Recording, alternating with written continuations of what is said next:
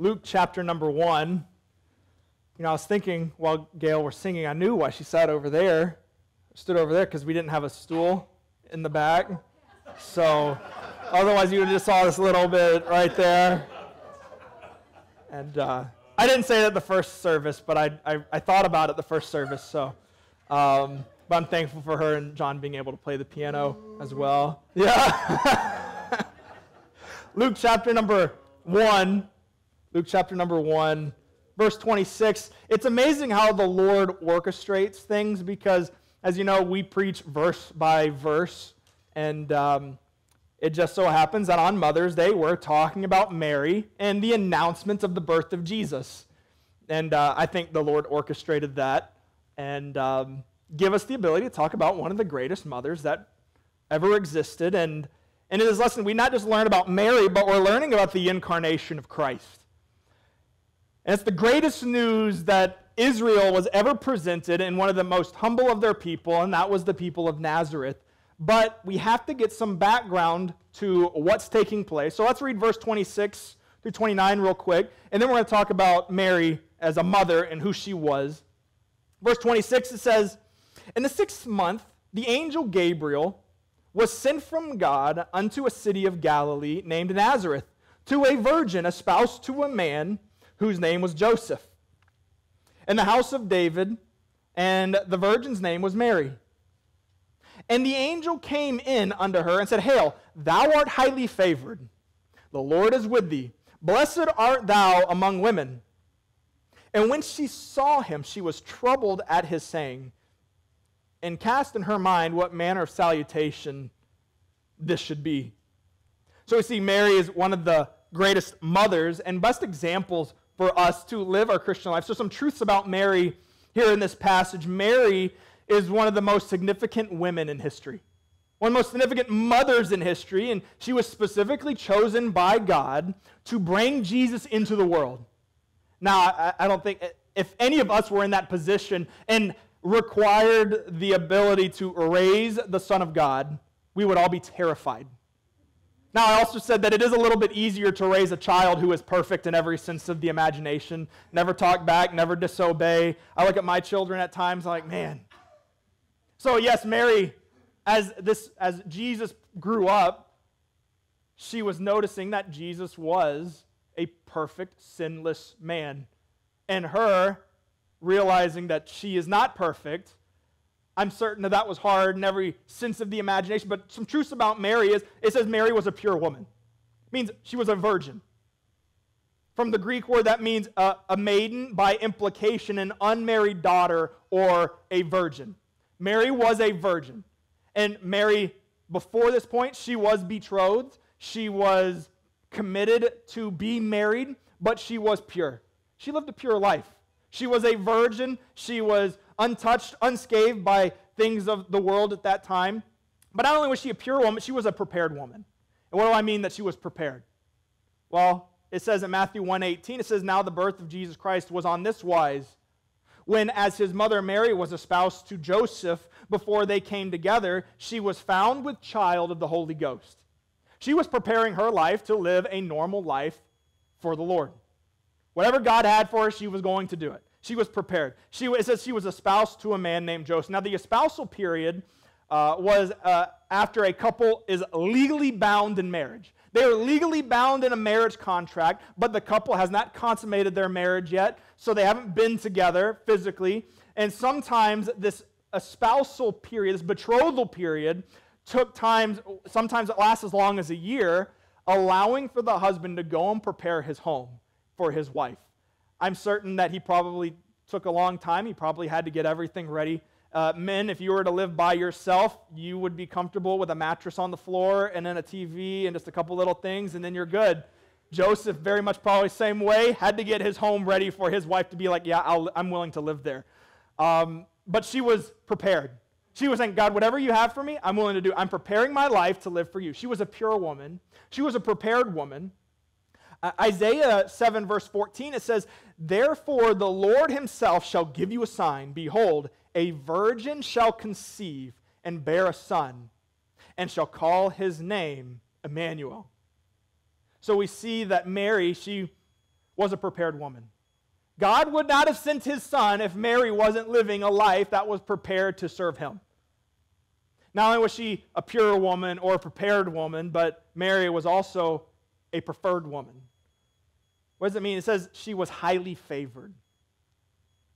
It means that word phrase, highly favored, means she was full of grace. She lived a graceful life. Now, this is, a, is something that every one of us should know as mothers and fathers. And if we don't have any children, living a graceful life, being a preferred person, says she was highly favored and full of grace. Because God chose her to be the mother of Jesus, she was going to be blessed among other women.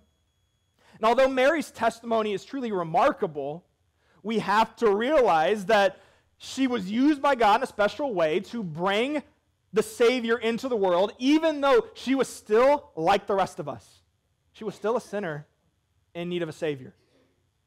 And unfortunately, there are many people who have elevated Mary to uh, above the teaching of Scripture. But we see that Mary, she was a pure woman. She was a prepared woman. She was a preferred one, full of grace. Now, that full of grace aspect show, tells us that if Mary was full of grace, then we can also be full of grace. That's why we're going to talk about that a little later in Scripture. But there are many times throughout Scripture that we are called to be filled with grace.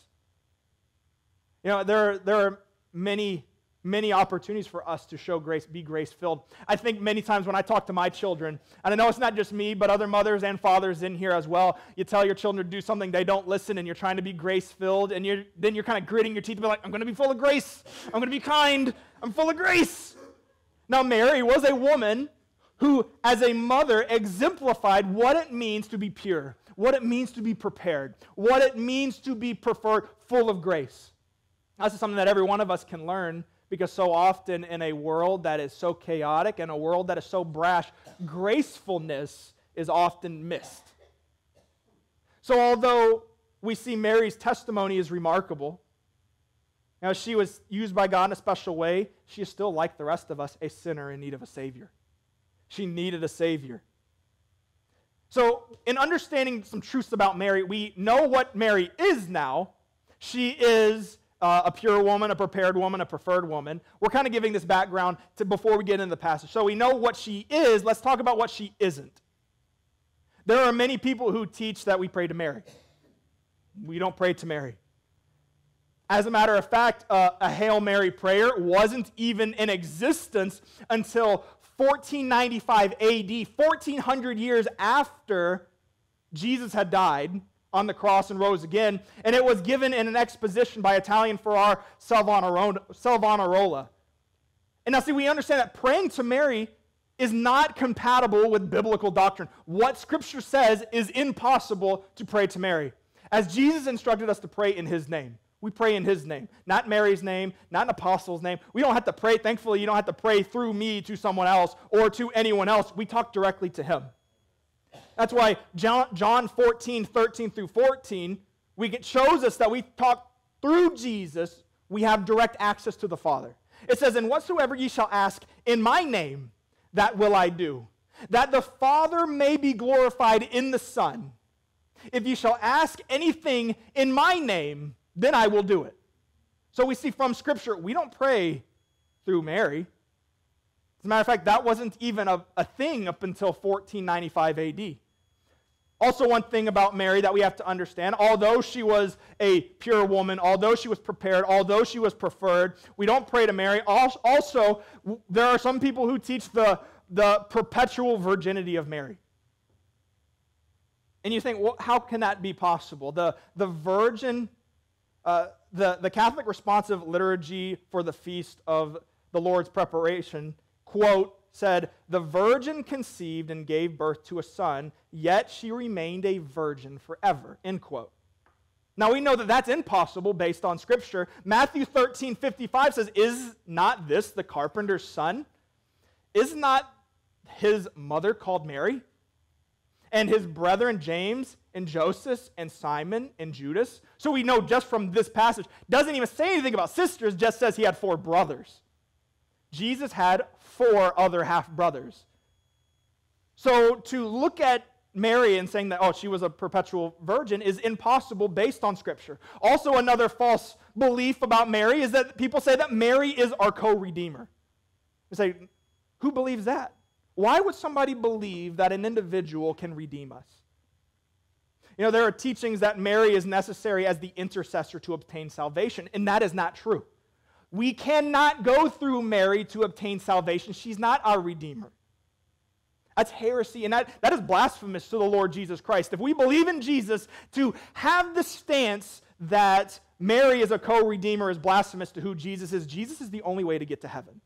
Say, well, what do you mean people believe that? Well, here's a quote from St. Bernard. He said, Mary is called the gate of heaven because no one can enter that blessed kingdom without passing through her. Now, that is inaccurate. Because John 14, 6 in, in, intentionally tells us, Jesus saith unto him, I am the way, I am the truth, and I am the life. No man cometh to the Father but by me. Mary is not my co redeemer. So, the reason we're going through this is because there's so often mistakes on who Mary is and who Mary isn't. So, in preparation, we understand no, we don't pray to Mary. Mary never, never remained a virgin and didn't have perpetual virginity. Mary is not our co redeemer. And these are all based on Scripture.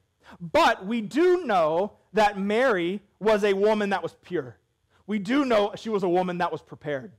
And we do know that she was a woman that was preferred, full of grace. So, now with that understanding, that background, let's hop into our text this morning and talk about what it means to be a mother. And these not just apply to mothers, but this applies to fathers and for us as individuals if we aren't married and have no children. So let's pray real quick and we'll hop into our message. Lord, I pray that you help us today as we open your word and be able to celebrate motherhood today and be able to get the example that we have to have as, as individuals and how to live our life for the Lord, how to live a life separated for you. Lord, I'm thankful for this, this illustration of what it means to be a mother here in Mary.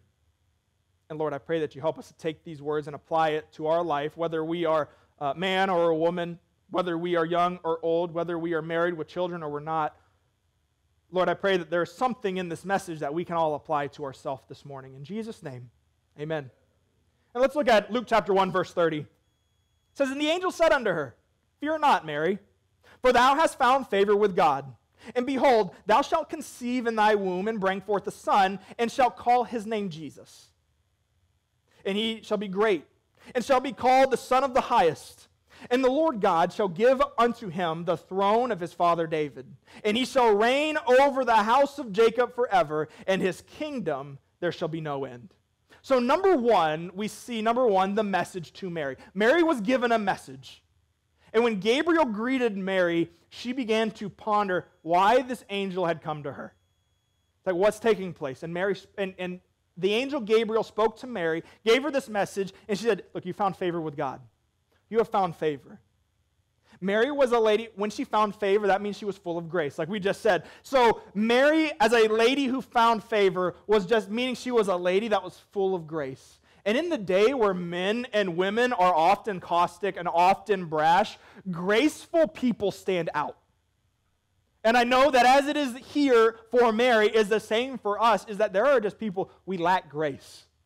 We lack being graceful. We're not, we're not filled with his grace. And Mary was a humble lady who, de, who desired to live for God. That was her intent. That was her desire. God, whatever you have for me, I want to live for you. That's why James chapter 4, verse 6, it says, But he giveth more grace. He giveth more grace. Wherefore he saith, God resisteth the proud, but giveth grace to the humble. That, that means that for us as individuals to live a life full of grace, we are humbling ourselves before God, and he's providing more grace. It means Mary lived a humble life. Her goal was to just, she was planning on marrying Joseph. She was planning on raising her children. She was a humble woman which is interesting for us is that because she was one of humility, we often elevate her so high above everybody else. If you were to ask Mary, Mary, we'll see it, Mary called herself a handmaiden or a, a slave to God. So, why is it that Mary would hold herself to such low esteem and humility, but we often elevate her to something far exceeding anything else that she was meant to be from Scripture? But from this message to Mary, we see she has favor with God. She said, Look, yeah, favor. You, you are living a life full of grace. You're, you're humble. I think more important than any other aspect of our life is the, t- the fact that men and women need to be full of grace and humble. You know, when God often tries to use us, we often pride ourselves in what's taking place in our life. We pride ourselves in how God's working in our life rather than humbling ourselves and giving, giving, giving the favor, showing, showing uh, our love to the Lord and following Him and being humble. So she had favor with God, but not only that, she, he said she was going to have a son, and his name was going to be Jesus. Now, Jesus is Greek for the Hebrew name Joshua, which means Jehovah is salvation. The idea is being communicated that Jesus had come to deliver Israel, and God sent his son Jesus to be a savior. And he was telling this was going to be who it was for Mary. Acts chapter 4, verse 12, it says, Neither is there salvation in any other. For there is none, un, no, no other name under heaven given among men whereby we must be saved. We are saved through Jesus Christ. It says he was going to be Son of the highest. Jesus was conceived by the Holy Ghost. He wasn't merely a man, he wasn't just a person. He was God incarnate in the form of a man. That's why Hebrews chapter 1, verse 6 through 8, it says, And again, when he bringeth in the first begotten into the world. He saith, And let all the angels of God worship him. And of the angels, he saith, who maketh his angels spirits, and, min- and his ministers a flame of fire. But unto the Son, he saith, Thy throne, O God, is forever and ever. A scepter of righteousness is a scepter of thy kingdom.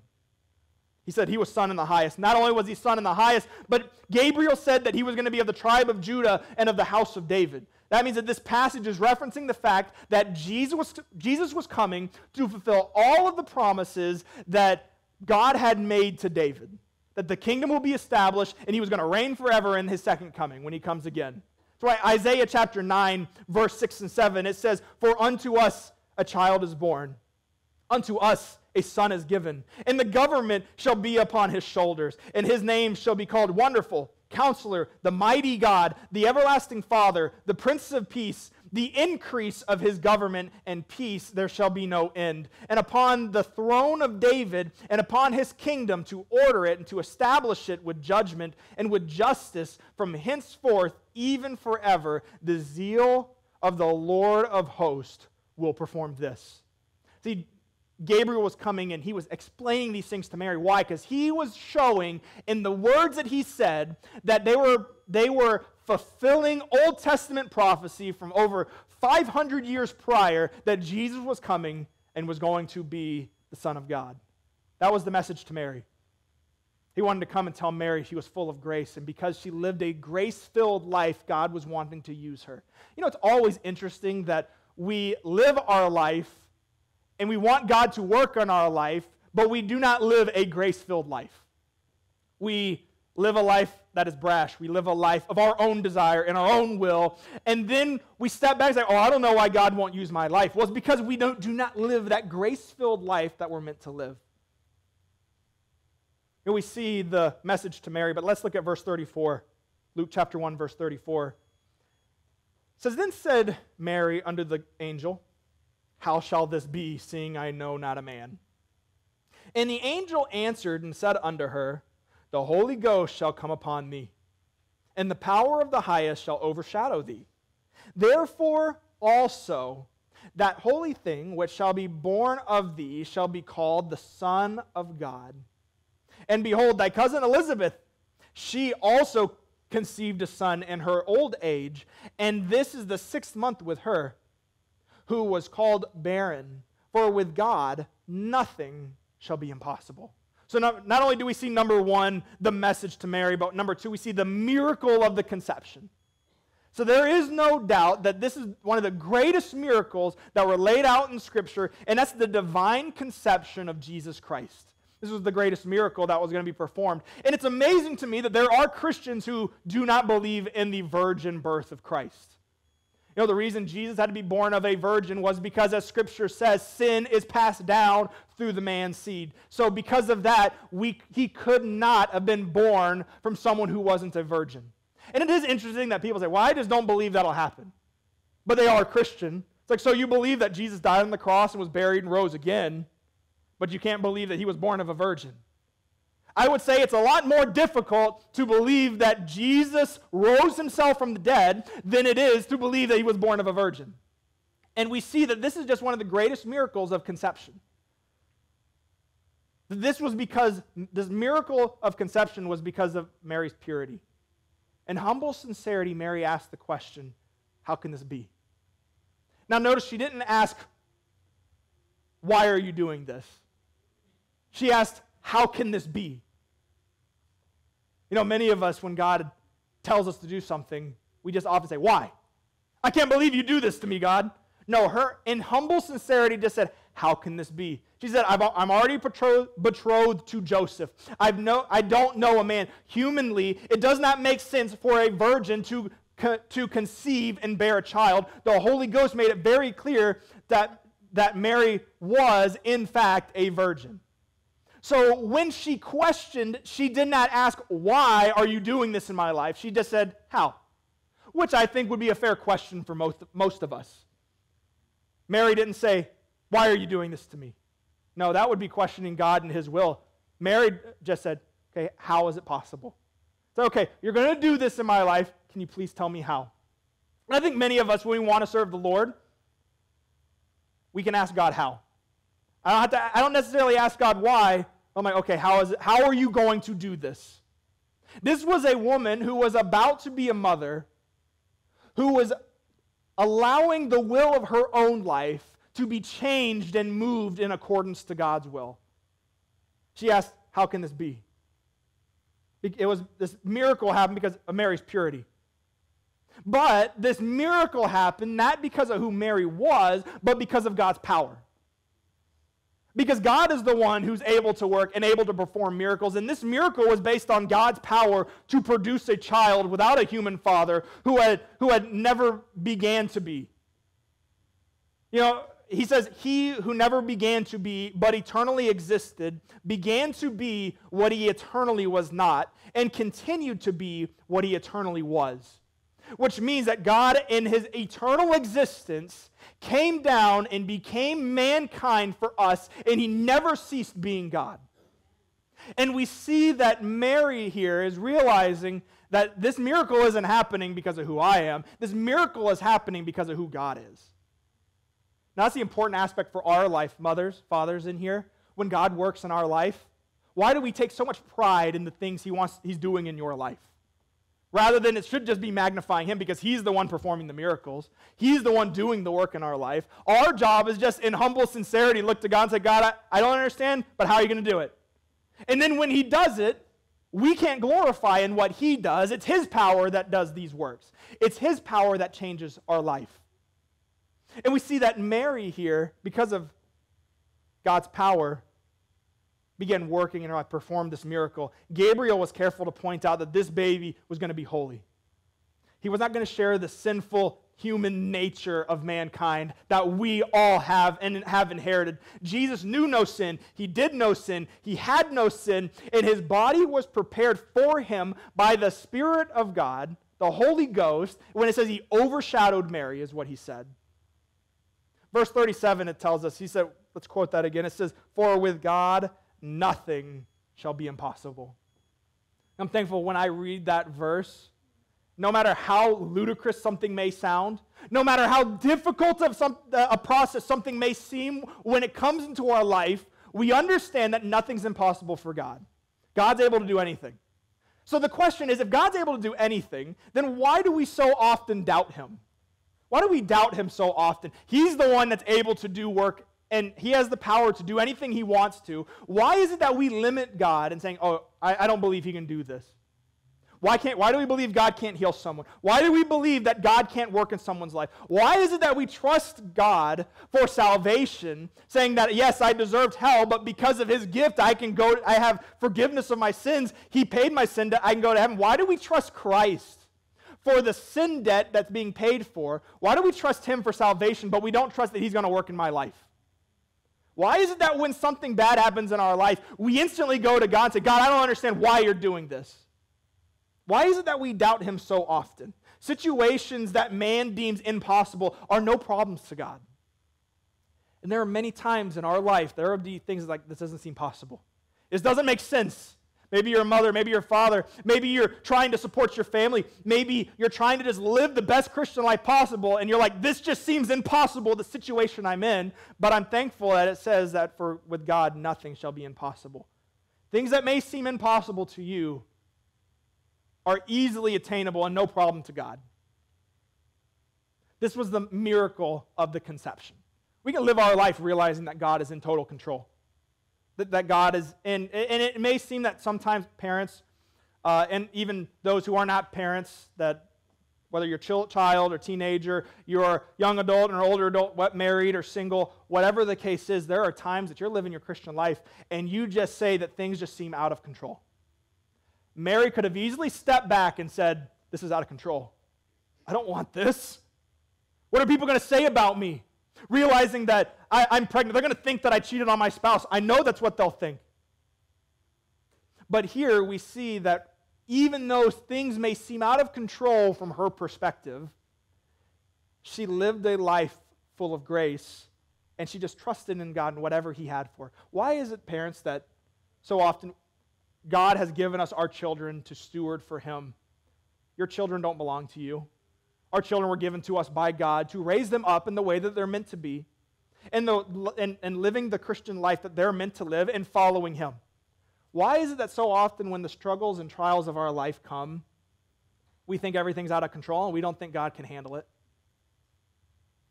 This miracle happened because of God's power. And God is just all powerful as He was then, as He is today. So we see the we, we see number one the uh, the message to Mary, and then number two the miracle of the conception. But let's look at verse number thirty eight, and we see number three the mind of Mary. We got to look into the, her mind. And this is something that not only can we apply to mothers in here on Mother's Day, but for every single one of us. Luke chapter 1, verse 38, for the mind of Mary, we see, And Mary said, Behold, the handmaid of the Lord. Be it unto me according to thy word.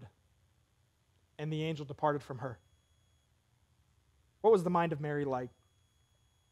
Well, see, her mind was one of a humble spirit. How was she humble? Well, she called herself a handmaid. She was coming to deliver the Son of God into this world, and what does she say? I'm a handmaid. What is a handmaid? A female slave, a bondsmaid. That's the feminine gender of the word bondservant. I'm just a slave. God, whatever you have for me, you're coming, you're going to change my life. I, had, I was prepared. I was living a pure life. I was prepared. I was doing everything I was meant to. I was full of grace, and you're coming in and changing my life. And instead of being angry about what the direction God was taking in her life, she said, I'm just a slave. What you have, whatever you have for me, I'm going to do it. Why is it that we so often fight God in the way that He works in our life?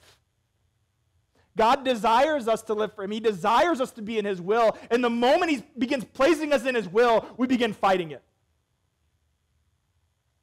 And not only was this done out of a humble, humble spirit, but we see that Mary was presenting herself as a humble servant. She understood that she didn't have much to offer here. She didn't have much to offer the Lord, but she gave herself anyways. What do you mean she didn't have much to offer? If she had much to offer, she wouldn't have called herself a handmaid. No, there's so often times in our spiritual life that you say, God, you can use me. I'm so great. I do this, I do this. I'm living a pure life. I'm living a prepared life. I'm living a grace filled life. You know what? Use me. I'm, I'm the one that you should be using. And Mary here said, Look, I'm just a handmaid. I'm a servant. I'm a slave to God. I don't have much to offer, but God, whatever you have for me, I'm willing to do it. It was a humble spirit. But not only was it a humble spirit, but we see that there was a humble consent that took place. She consented to the will of God. She consented to his will, even though Mary didn't understand what was happening to her or how it was going to work out or how God was going to work in her life. She surrendered her will to the Lord. That I'll understand what's going to take place, but I'll understand. Here's the thing when you face circumstances that seem impossible, we have to remember to surrender our will to God's. There are going to be so many times in our life where you have your plan. Mary had her plan and God came and changed her plan. And this is for all of us in here, whether you're a mother or a father or a child or a grandparent, whatever it is today, there are going to be times you may have your plans, and God's going to come in and radically change the plans. And we see not only was she humble, but she had a humble consent to it. She consented to his will. She didn't understand why it was happening, she couldn't explain all the situations in her life, but she just said, I'm just a handmaid to the Lord. When things arise in our life, yeah, we can live a pure life. Yeah, we can live a separated life. We can be a prepared person. But when God comes in and directs us in his will, our question, our, our statement that we should make is not standing up before God and saying, God, why are you doing this? I had my plans. The goal then is saying, I'm a handmaid. I'm a servant. I'm a slave to you. You know, when we face circumstances that seem impossible, we have to remember to surrender to God's plan. There are many times in our life that we have to surrender to what God wants in our life because He has something far greater than what any of us can expect, anyways. The world's most popular prayer is, Thy will be changed. But the world's greatest prayer is, Thy will be done. We live our lives that God change these situations in my life. I, I don't want this. Mary could have easily said, No, I don't want it. And what would have took place? If Mary looked at Gabriel and says, I don't want it, then what would have happened? Would she have consented to what God wanted to do? We have to remember that our prayer should not be, Thy will be changed, but it should be, Thy will be done. God, what do you have for my life? As a mother in here trying to raise children, uh, for many of uh, mothers in here, and for fathers trying to raise children, and for people who aren't married that are just trying to do what's right, we say, God, why are you allowing this? Change your will. It's very easy to ask for your will to be changed rather than his will to be done. She consented to his will. Not only did she consent to his will, but she consented to his word because it says that she took his word. And Mary, in this passage, Mary is perhaps the most extraordinary illustration recorded in the Bible of a life wholly yielded to God. God, I had my plans and you changed it. She laid her will aside and trusted God completely for his perfect plan for her life. I assure you, when we give our life to him, he has something far better than anything we could have ever thought or imagined. And I know what it's like for mothers and fathers in here today. We like to control. We want to try to make sure that everything's as perfect as possible. There are times in our life where God directs and God changes, and we just have to follow the Lord. She consented to his word. So, look, I'm giving my life up. Everything that I desired, everything that I wanted, I don't know how it's going to be received by people. I don't know how someone's going to receive it and look at me, if they're going to look at me any different. I'm just going to completely trust that God's in control. Wherever God speaks to us through His word, we should humbly respond to it and yield to His will. God, I read your word, I, you speak to me. And rather than looking at it and being upset and angry, saying, God, I don't want to do that, I want something different, we should say, as mothers and fathers in here, God, you spoke to me through your word. I'm going to I'm going to consent, humbly consent to what you have. I'm going to follow you. Here's the truth of the matter is that God is ready to assume full responsibility of a life wholly yielded to him. I'm thankful that when we live our Christian life, mothers in here, fathers in here, when we live our life for Him, yield your life to Him, He's ready to assume that full responsibility for that life. You know, even though God may ask to, us to do something that seems impossible, moms, we should have the faith to believe in His word and yield to His will, knowing that God has something far better than anything that we can think or plan for ourselves. You know, I think of when Holly and I, we moved to Southern California three and a half years ago. It was a very difficult decision to make because in Kentucky, we were comfortable. We had family near us. We had a home. Uh, things were a lot cheaper in Kentucky than they are in Southern California. And um, there was, we had a great church that we were part of and we were working at. We had a two year old at the time, and we come out here. And before we decided to come out here, I looked at Holly and was like, Holly, we can't make it. We're, we're going to get a pay cut and go to the most expensive state. We can't afford anything out here. And Holly looked me in the eyes and said, I thought you said you wanted to do something for the Lord. Talk about making me feel bad. Supposed to be that, had that kind of faith. And then I remember we said yes to coming. And then the moment we said yes to coming, the very next day we found out that Holly was pregnant with Xander. And I'll talk about making things even more difficult. We sold everything we had, and I'm talking about this from the perspective of Holly as a mother. We sold everything we had, packed it up in a seven foot by seven foot pod, had it shipped out here, packed up the last couple of bags in our little car, and drove across the country, leaving everything behind, sold our house, sold everything, and left family and friends and everybody behind, and moved across country with a two year old daughter and a pregnant wife, only to live in a camper next to the, next to the church when we first came because we couldn't afford to come here. Now imagine, in Holly's perspective, being a mother, leaving everything behind, selling everything, burning every bridge, only to be pregnant with morning sickness in a trailer with a two year old running back and forth, shaking that trailer constantly all day. You know, where is our faith in the Lord? And I'm not saying that to boost Holly in any way. What I'm what I'm saying that for is for us to understand that there are times that God wants to work in our life. And so often we say, I'm not doing it. I don't want to do it. Rather, God has something far greater for us. And our job is just, with a humble spirit, humbly consent to what God wants to do in our life. The faith that, be, that this kind of faith begins with a relationship with Jesus Christ. If we do not have a relationship with Jesus Christ, we will not have that kind of faith. We will not be able to go up before the Lord as men and women and says, Jesus, I'm your slave. God, whatever you have for me, I'm your slave. Work in my life.